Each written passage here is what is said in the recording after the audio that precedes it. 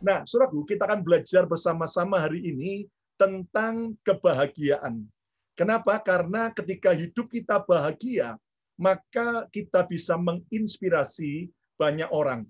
Dan saudara ada eh, sebuah ayat yang kita akan baca bersama-sama di dalam Alkitab kita dalam kitab Yesaya 48 ayat yang ke-18.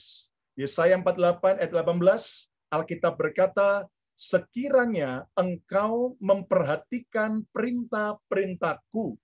Kita sebagai anak-anak Tuhan memperhatikan dan mentaati perintah Tuhan. Akibatnya apa? Maka damai sejahteramu akan seperti sungai yang tidak pernah kering. Dan kebahagiaanmu akan terus berlimpah Ucapkan bersama saya kebahagiaanmu akan terus berlimpah. Dua, tiga. Kebahagiaanmu akan terus berlimpah seperti gelombang-gelombang laut yang tidak pernah berhenti. Nah, ayat ini menjelaskan buat kita sebagai anak-anak Tuhan, saat kita hidup dalam ketaatan kita kepada Tuhan, maka damai sejahtera dan kebahagiaan itu adalah janji Tuhan buat saudara dan saya. Dan saudaraku, ternyata kita harus mengerti bahwa kebahagiaan itu merupakan janji Tuhan buat setiap kita. Nah, saudara, kalau Anda berkata bahwa, oh, apakah memang Tuhan mengendaki saya hidup bahagia? Oh, jelas, dia Bapak yang baik. Nah, saudaraku, hidup bahagia di saat segala sesuatu berjalan dengan baik dan lancar tentunya adalah hal yang normal dan semua orang akan bisa melakukannya. Tetapi kenyataannya ada banyak hal yang tidak kita harapkan yang sering kali terjadi dalam hidup ini, baik dalam keluarga kita, baik dalam eh, pekerjaan kita, dalam kesehatan, dalam gereja, pelayanan, komunitas, dan keuangan kita. Nah, suraku pertanyaannya sekarang, bisakah aku bahagia di saat keadaan buruk? Nah, kalau keadaan baik saja, lalu orang bahagia itu hal yang normal. Tetapi, saudaraku, kita akan belajar hari ini. Bisakah aku bahagia di saat keadaan buruk? Dan saudara, juru khotbah saya hari ini adalah Can I be happy? Bisakah aku bahagia? Saudara, coba apa yang menjadi jawaban saudara? Bisa enggak saudara bahagia? Saudara bilang pasti berkata bisa. Tapi bagaimana caranya pastor? Hari ini keadaan saya buruk. Hari ini keadaan saya sulit. Hari ini saya punya banyak masalah. Bagaimana saya bisa hidup bahagia? Nah, saya mau mengajak saudara untuk sebelum kita belajar firman Tuhan lebih dalam lagi, melihat seorang wanita yang bernama Jane Marsqui. Ya, Jane Mars Sekui ini ya, sulit bacanya. Jane ini, saudaraku, dia usia 30 tahun dari Ohio, Amerika. Dan tahukah Anda bahwa Jane ini, saudara, lihat betapa senyumnya yang menawan saat dia tampil di American Got Talent ya atau AGT 10 Juni 2020 kemarin. Dan lihat bagaimana dia nyanyi dengan wajah yang penuh sukacita, dengan semangat. Tapi tahukah Anda bagaimana sebenarnya kehidupan Jane? Jane ini seorang penderita kanker, di mana dia mengalami kanker paru-paru, bahkan kanker tulang belakang, dan bahkan kanker hati. Dan dokter sudah memfonis bahwa Jane hanya punya 2% kesempatan untuk hidup. Dan kalau Anda tahu bahwa hidupnya penuh dengan banyak masalah, ketika akhirnya saudara dia juga mengalami keguguran saat dia hamil anak yang pertama. Bahkan akhirnya setelah dia menderita kanker cukup lama istrinya eh, suaminya sudah tidak tahan lagi dan akhirnya menceraikan dia. Saudaraku tetapi yang menarik adalah Jane akhirnya tampil di panggung American Got Talent dengan menyanyikan lagu ciptaannya sendiri dengan judul It's Okay. Padahal keadaan hidupnya tidak oke. Okay. Hanya tinggal dua persen dia hidup. Saudara, tetapi dengan suara yang indah, dengan wajah yang penuh dengan senyum dan kebahagiaan, dia nyanyikan lagu itu. Dan tentu Anda tahu di antara judge atau hakim atau juri yang ada di HGT, ada satu orang bernama Simon Cowell yang ternyata kata-katanya sering kali tajam. Dia tiba-tiba waktu setelah mendengar Jin nyanyi, dia cuma berkata wow dengan ekspresi seperti mau nangis ketika mendengar bahwa Jin mengalami penyakit yang begitu parah dan hanya punya kesempatan hanya dua persen. Dan ketika ditanya saudaraku oleh juri yang lain, Howie berkata, tetapi senyummu, wajahmu yang ceria itu tidak menunjukkan bahwa engkau sakit. Dan Jin berkata, mengapa kita menunggu sampai hidup jadi baik, baru kita memutuskan bahagia? Mengapa kita menunggu sampai hidup kita cerah, baru kita memutuskan bahagia? Dan itulah kata-kata yang menginspirasi sehingga akhirnya saudara tahu bahwa dalam tempo singkat akhirnya Jane saudara dia eh, menjadi orang yang telah diikuti banyak orang sampai jumlah viewernya di YouTube hanya eh, dalam tempo singkat sudah 25 juta viewer. Lihat bagaimana kehidupan Jane yang hanya 2% kesempatan untuk hidup, tetapi dia memutuskan untuk berbahagia. Saya pelajari juga dia seorang anak Tuhan, dan saudara waktu dia melewati masa-masa sulit, dia tahu bahwa Tuhan tidak pernah meninggalkan dia sendiri. Jadi saudaraku, apakah aku bisa bahagia? Kalau keadaan saudara semuanya baik, maka jelas kita bisa bahagia. Pertanyaannya ketika keadaan kita tidak baik, sedang mengalami mungkin kehilangan orang-orang yang kita cintai karena pandemi ini, atau bahkan juga mengalami keadaan yang sulit dalam soal pekerjaan, dalam kesehatan, atau dalam pernikahan keluarga kita, atau juga dalam pelayanan kita. Pertanyaannya, apakah aku bisa bahagia? Nah, kita akan belajar dari seorang juga di Alkitab, seorang nabi di Perjanjian Lama. Orang ini juga menginspirasi dengan luar biasa kehidupan banyak orang, saudara-saudara, melalui yaitu uh, ayat yang dia tulis. Dan ini merupakan ayat yang cukup terkenal, ya. Sebentar, saya uh, matiin dulu ini. Oke, nah Habakuk pasal 3, ayat 17 sampai ayat yang ke-19. Nabi Habakuk berkata, sekalipun pohon ara tidak berbunga, pohon anggur tidak berbuah, hasil pohon saitun mengecewakan. Sekalipun ladang-ladang tidak menghasilkan bahan makanan, kambing domba terhalau dari kurungan, dan tidak ada lembu sapi dalam kandang. Kalau Anda lihat ini keadaan yang sangat mengecewakan, keadaan yang gagal, kehilangan, dan sebagainya. Tapi Habakuk berkata apa? Ayat yang 18. Yuk kita baca sama-sama sampai 19. Semua baca keras. Dua, tiga. Namun aku akan bersorak-sorak di dalam Tuhan, beria-ria di dalam Allah yang menyelamatkan aku. Haleluya. Ayat 19. Allah Tuhanku itu kekuatanku. Ia membuat kakiku seperti kaki rusa. Ia membiarkan aku berjejak di bukit-bukitku untuk pemimpin biduan dengan permainan kecapi. Suraku, lihat bagaimana Nabi Habakuk adalah teladan agar kita bisa hidup bahagia sekalipun kita sedang mengalami keadaan yang buruk. Hari ini apa pun hal yang buruk yang sedang kita hadapi, suraku, maka kita harus meneladani, mendapat inspirasi yang luar biasa dari Nabi Habakuk. Tadi kalau Jin memutuskan walaupun keadaan tidak baik, tapi dia mau bahagia. Apalagi kita anak-anak Tuhan yang sudah belajar firman, maka Tuhan berjanji bahwa kebahagiaanmu tidak akan pernah habis seperti gelombang yang laut yang terus akan mengalir.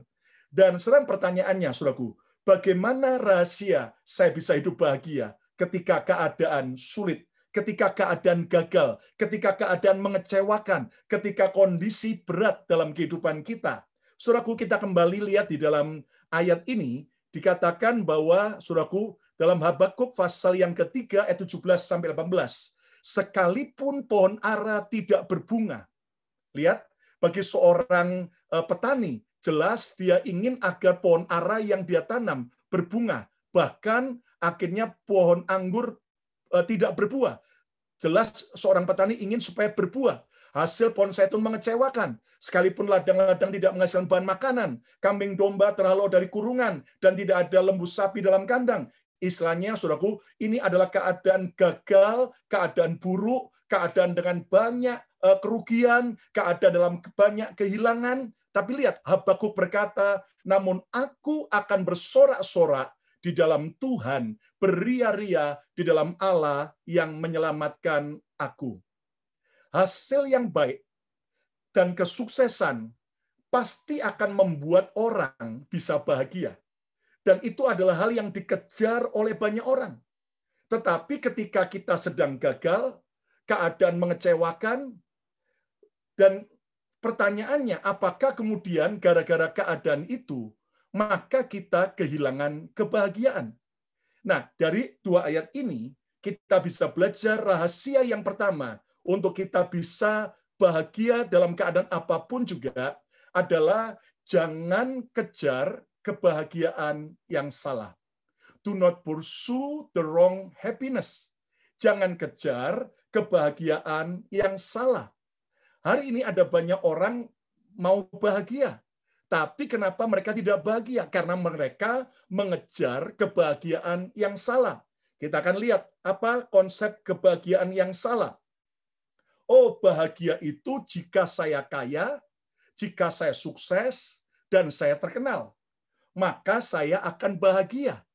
Nah, memang saudara, saya berdoa buat setiap saudara supaya Anda semakin diberkati, semakin sukses, dan berhasil. Yang setuju dan yes. Tetapi saudara, kalau Anda berpikir bahwa kalau saya kaya baru saya bahagia, pertanyaannya berarti kalau tidak kaya, apakah kita tidak bisa bahagia? Oh, kalau saya sukses, saya baru bisa bahagia. Pertanyaannya, kalau kita gagal, apakah kita tidak bisa bahagia? Oh, kalau saya terkenal, saya baru bahagia. Apa kalau kalau sudah tidak terkenal, maka kita tidak bahagia? Tapi ada yang protes gini. Tapi pastor, jauh lebih menyenangkan, lebih bahagia kalau saya kaya, kalau saya terkenal dan sukses. Oh, betul. Tapi kenyataannya, berapa banyak orang yang kaya berapa banyak orang yang sukses, berapa banyak orang yang terkenal, berakhir hidupnya dengan tidak bahagia.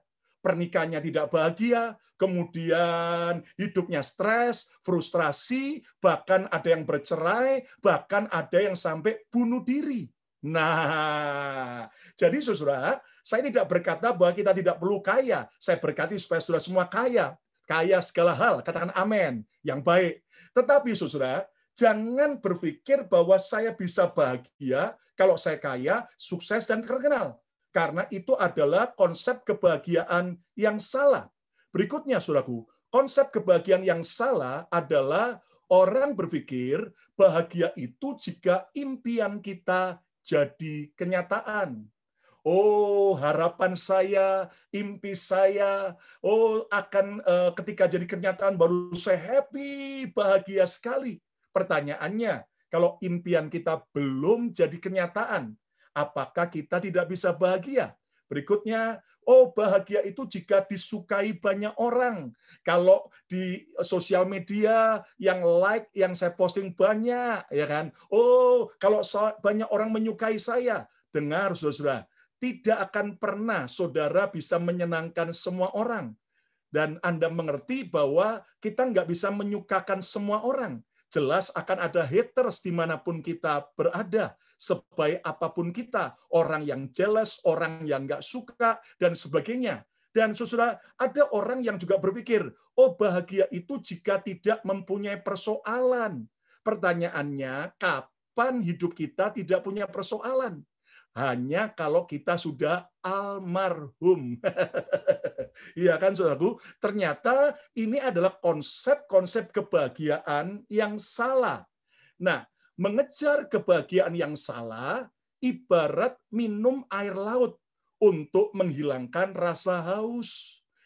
Akibatnya saudara nggak akan pernah kehilangan rasa haus, malah semakin haus, semakin uh, haus eh, kita. Kenapa, Saudara? Karena kita minum yang salah. Nah, jangan mengejar, Saudaraku, eh, kebahagiaan yang salah. Nah, kita balik dalam Habakuk 3 ayat 18.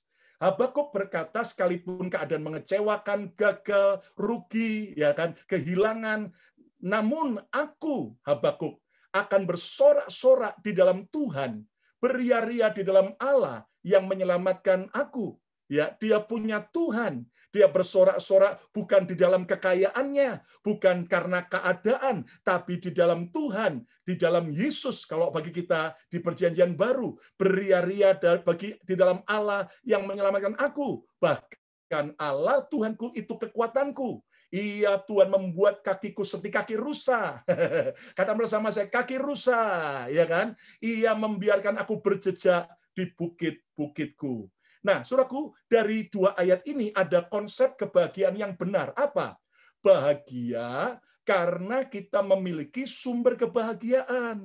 Nah, sumber kebahagiaan itu siapa? Yesus. Katakan yes. Coba semuanya lambaikan-lambaikan tangan-tangan bersama saya. Yesus. Ya kan? Saudara, Yesuslah sumber kebahagiaan bukan pasangan Anda sumber kebahagiaan, bukan anak saudara, bukan cucu saudara, bukan kesuksesan Anda, bukan semua apa yang Anda miliki di dunia ini, tapi kita bahagia karena memiliki sumber kebahagiaan, yaitu Yesus. Nah, contoh saudaraku, lihat ketika udara panas di luar karena summer begini, kita yang di dalam rumah, kita tetap akan sejuk. Kenapa? Karena di dalam rumah kita ada apanya? Halo, ada apanya? Ada air conditionernya, ya kan? Ada AC-nya, ya kan? Sehingga walaupun di luar panas, di dalam dingin karena ada yang memproduksi uh, hawa dingin. Sebaliknya kalau musim winter di luar itu panas, tetapi di dalam rumah kita akan hangat. Kenapa? Karena ada heater yang memproduksi daripada uh, apa namanya panas tersebut, kerasa hangat itu. Nah, ketika keadaan mengecewakan, kegagalan, kerugian, hal-hal yang menyakitkan, kalau ada sumber kebahagiaan dalam diri kita, Yesus, aha, saudara akan tetap bisa bahagia. Katakan yes. Saudara, ya, jadi kita harus belajar mengerti bahwa konsep kebahagiaan yang benar itu bukan karena yang lain, tapi karena dalam Tuhan. Habakuk berkata, aku bersuka cita beria-ria di dalam Allah yang menyelamatkan aku. Berikutnya, bersikap hidup ringan. A simple life. Dan terus bergerak. Ya kan? Nah, tadi dikatakan oleh uh, Habakuk, Tuhan membuat kakiku seperti kaki apa? kaki rusa. Ingat, bukan kaki gajah. Apalagi kaki beruang, ya kan? Kaki gajah itu, kaki beruang itu apa? Berat untuk melangkah, ya kan? Apalagi mendaki gunung. Tapi Tuhan mengatakan seperti Habakuk berkata, Tuhan membuat aku ya kakiku seperti kaki rusa. Kaki rusa itu apa? Lincah, ringan, cepat bergerak.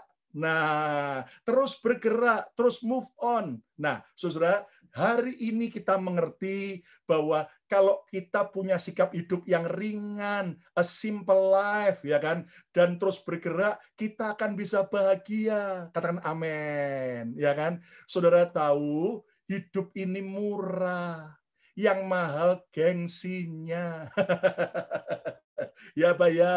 Hidup ini simple, sederhana. Ya, yang mahal itu apa? Ya, yang mahal adalah gengsinya, ya kan Saudara? Nah, banyak orang kalau sudah kejebak hidup pokoknya harus yang high class, hidup pokoknya harus yang uh, mahal, hidup pokoknya harus yang standarnya tinggi. Loh, Saudara, kalau Anda diberkati Tuhan dan Anda nikmati, silakan, nggak ada masalah. Tapi yang Tuhan mau, kita bukan kayak kaki gajah, kaki rusa. Jadi kita mudah beradaptasi melewati setiap keadaan gunung maupun lembah, dataran maupun uh, gunung yang tinggi. Kita dengan cepat bisa bergerak, ya kan? Jadi saudara, hidup ini simple aja kok. Hanya gengsi kita nih yang mahal, ya Pak ya. Hanya cuman gara-gara, ya kan? Ada yang uh, di sosial media ngomong komentar negatif tentang saudara, lang langsung nggak bisa tidur semalam.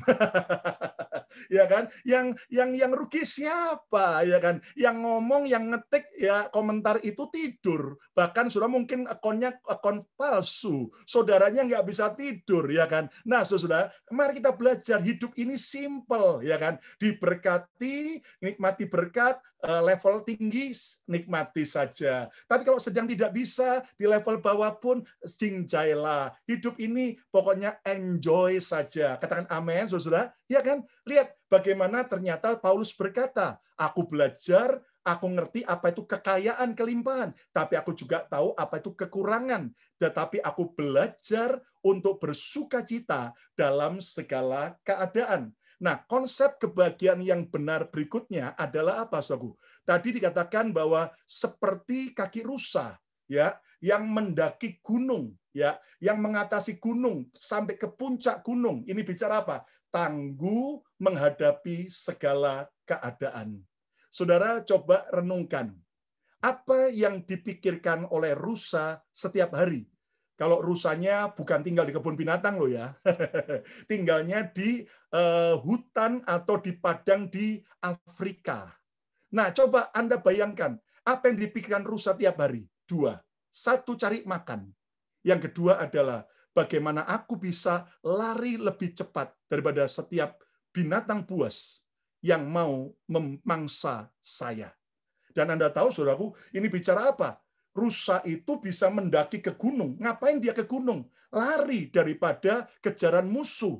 Nah, hal yang sama dalam hidup ini. Sudah hidup ini bukanlah playground.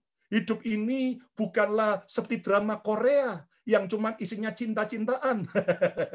Hidup ini tough, Hidup ini keras, hidup ini medan peperangan, hidup ini adalah penuh dengan banyak yang namanya tantangan. Dan mari kita anak-anak Tuhan harus tangguh, tough. Kata bersama saya, saya harus tangguh bersama Tuhan. Ya kan? Ya, Tuhan membuat kakiku seperti apa? Kaki ru rusa. Rusa itu terus tangguh, melewati apa pun juga. Makanya sampai kemudian kita sering nyanyikan seperti rusa rindu. Nah, rusa itu pokoknya harus tangguh menghadapi segala keadaan.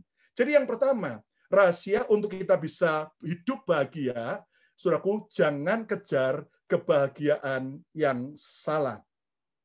Yang berikutnya, Saudaraku, bagaimana kita bisa hidup bahagia? Ayat 18.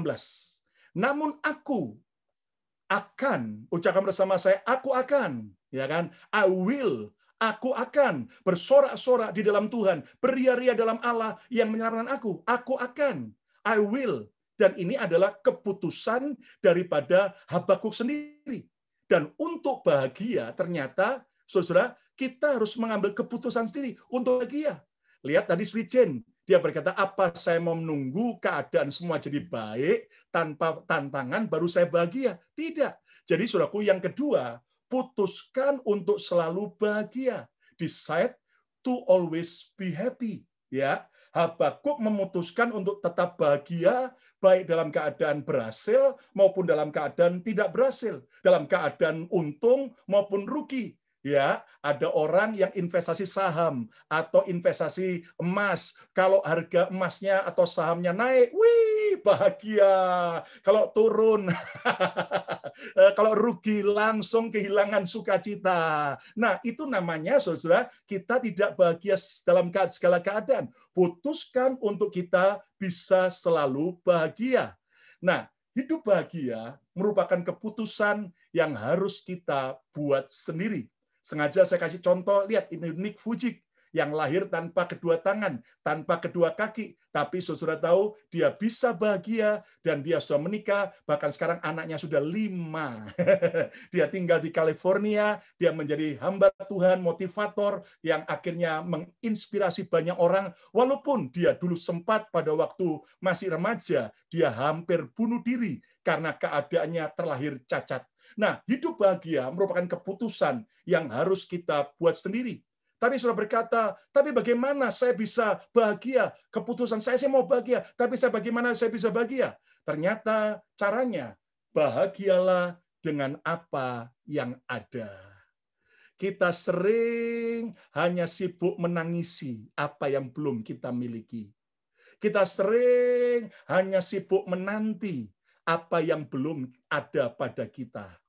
Tetapi kita sering kali tidak bisa mengapresiasi, tidak bisa menghargai apa yang sudah ada pada diri kita. Bahagialah dengan apa yang ada. Saudara, ganti rumah itu oke, tetapi bukan soal ganti rumah yang membuat orang bahagia tapi keputusan untuk kita bahagia atau tidak di rumah mana pun juga. Ganti pekerjaan akan membuat aku bahagia. Oke, tapi di segala pekerjaan Anda harus tahu akan ada tantangan yang sama.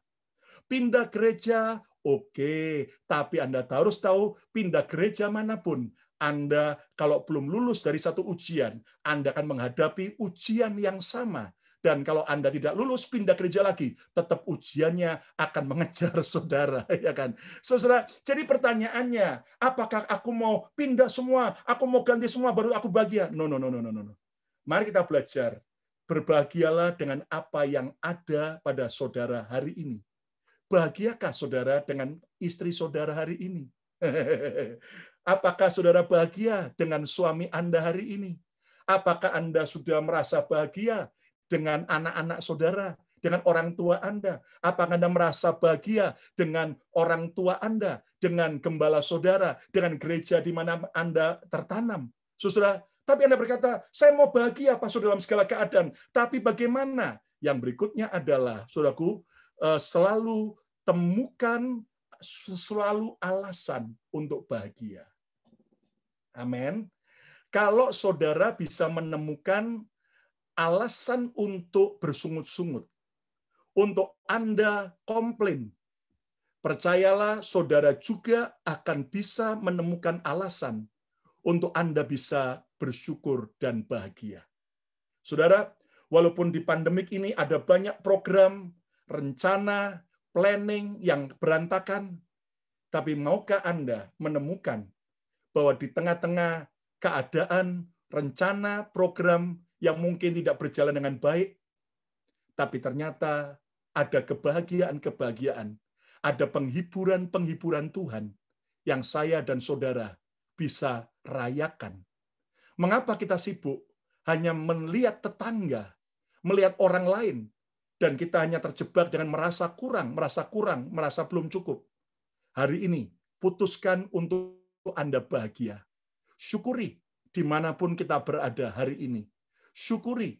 Saudara jangan pernah iri terhadap hidup orang lain. Sebab kita mungkin hanya melihat sisi keindahannya saja.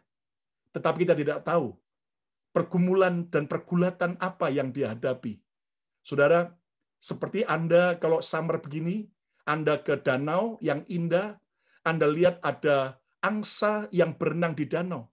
Lalu Anda berkata, wow, enak ya angsa itu nggak usah kerja, ya kan? Enak angsa itu aman dari COVID, nggak usah pakai masker, ya kan? Apalagi yang di Indonesia, sudah kasihan katanya sekarang masker nggak bisa cuma satu lapis, harus double, sudah ya. Nah satu lapis aja udah ngap, apalagi dua lapis, sudah itu.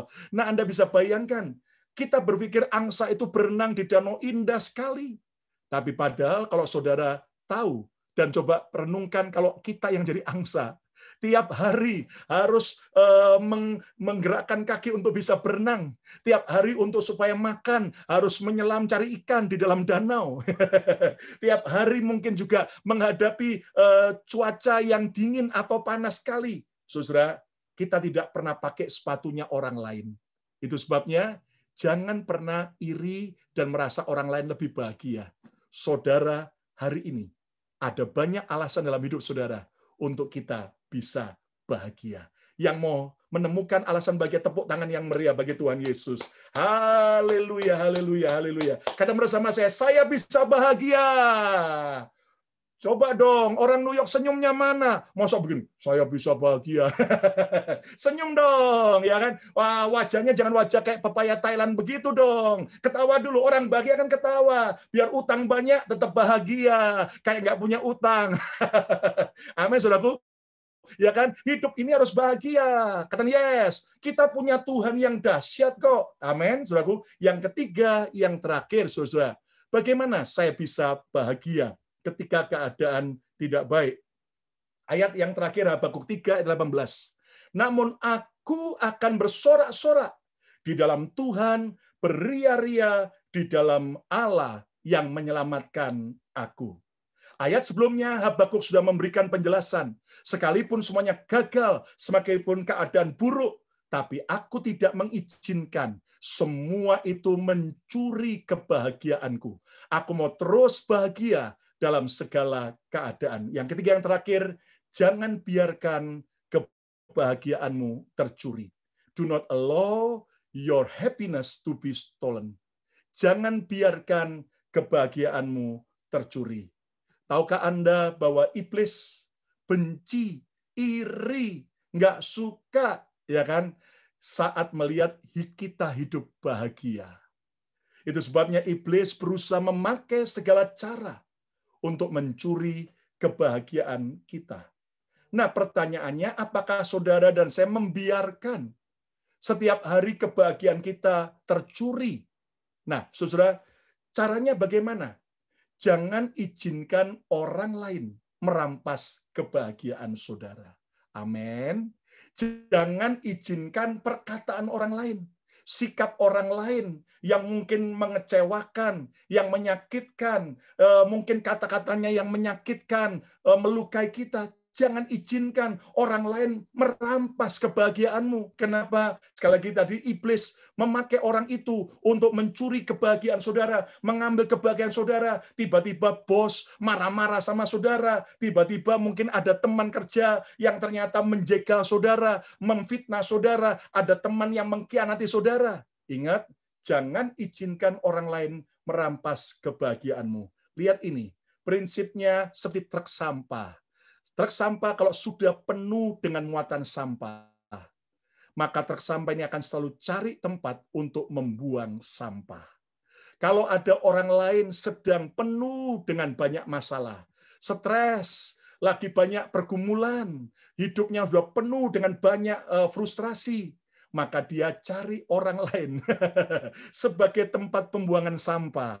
Dan dia temui saudara, dia mulai bersikap yang aneh dan menyakitkan supaya sampah dalam hidupnya bisa ditransferkan buat saudara. Pertanyaannya, orang waras, orang cerdas, dia tidak akan izinkan sampah dari orang lain masuk dalam hidupnya. Hari ini hidup memang penuh tantangan, hidup semakin banyak orang yang gila dan aneh-aneh, saudara. Tapi mari kita belajar, jangan izinkan orang lain mencuri kebahagiaan saudara. Berikutnya, saudaraku, jangan izinkan, saudaraku,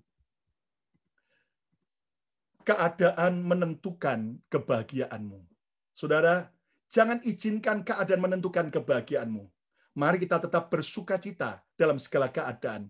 Keadaan panas, Puji Tuhan, serasa di Arab Saudi. Keadaan dingin, puji Tuhan, serasa di kutub utara, ya kan? Keadaan lagi semuanya limpah, puji Tuhan, aku nikmati suasana surga. Keadaan lagi kekurangan, mengucap syukur, puji Tuhan, aku mencicipi suasana neraka. nah kita belajar, jangan izinkan keadaan menentukan kebahagiaanmu dalam segala keadaan berbahagialah. Dan berikutnya, saudaraku, jangan izinkan, saudaraku, diri sendiri merusak kebahagiaan saudara. Jangan rusak kebahagiaan dengan diri saudara sendiri. Ketika saudara terus merasa gagal, terus merasa Anda tidak mampu, dengan semua kekhawatiran saudara, dengan semua ketakutan saudara, dengan semua rasa kecewa saudara, Jangan izinkan dirimu sendiri menghancurkan atau mencuri kebahagiaan saudara. Hari ini saya rindu dan Tuhan rindu supaya kita belajar dari Habakuk. Kesimpulannya, saudaraku, kita belajar bahwa jadikan kebahagiaanmu sebagai sumber inspirasi bagi banyak orang. Sampai teman kerja saudara berkata, kamu kok bahagia walaupun habis mengalami banyak kegagalan, maka saudara bisa saksikan karena ada Yesus sumber kebahagiaan ada dalam hidup saudara. Dan saudaraku rahasia untuk kita bisa bahagia. Yang pertama, jangan kejar kebahagiaan yang salah. Selama ini kita tidak bahagia, mungkin karena kita salah mengejar. Kita berpikir, kalau aku kaya, kalau aku terkenal, kalau aku sukses, kalau impianku jadi kenyataan, maka aku baru bisa bahagia. Kalau hidupku nggak punya persoalan, baru aku bisa bahagia. No, no, no, no.